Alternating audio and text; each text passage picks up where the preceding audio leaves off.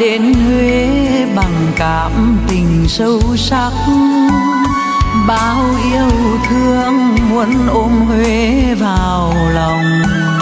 Dòng hương giang vẫn êm ả xanh trong.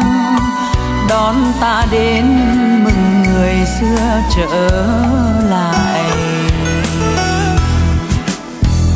Giọng hò Huế thật ngọt ngào êm ái.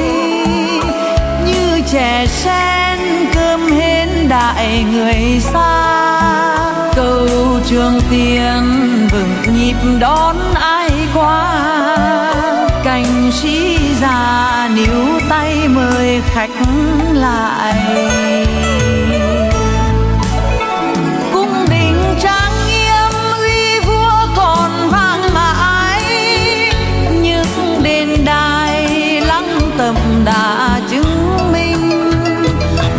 Đời vua xây dựng các công trình bằng trí tuệ và công phu đáng nể.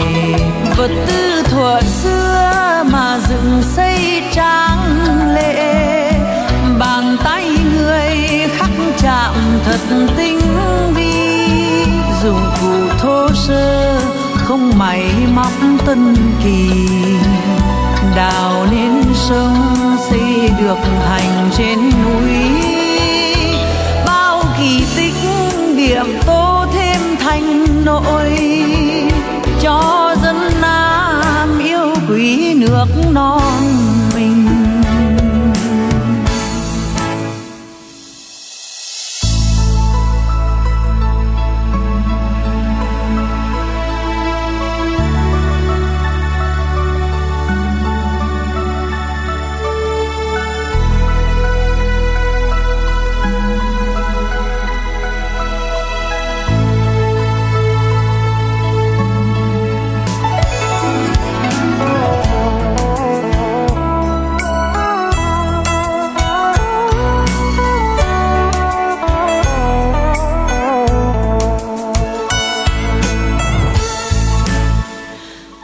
Ta đến Huế bằng cảm tình sâu sắc.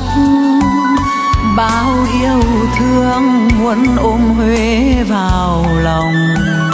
Dòng hương giang vẫn êm ả xanh trong. Đón ta đến mừng người xưa trở lại. Giọng hò Huế thật ngọt ngào êm ái. Như trẻ sen cơm hến đại người xa.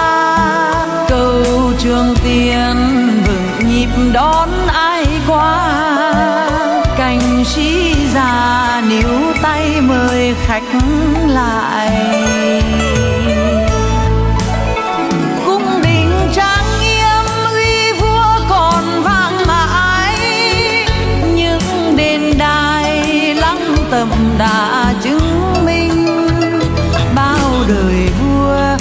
Xây dựng các công trình bằng trí tuệ và công phu đáng nể. Vật tư thuở xưa mà dựng xây trang lệ, bàn tay người khắc chạm thật tinh vi. Dụng cụ thô sơ, không máy móc tân kỳ, đào nên sông xây được Hành trên núi. Bao kỳ tích điểm tô thêm thành nội cho dân nam yêu quý nước non mình. Cho dân nam yêu quý nước non mình.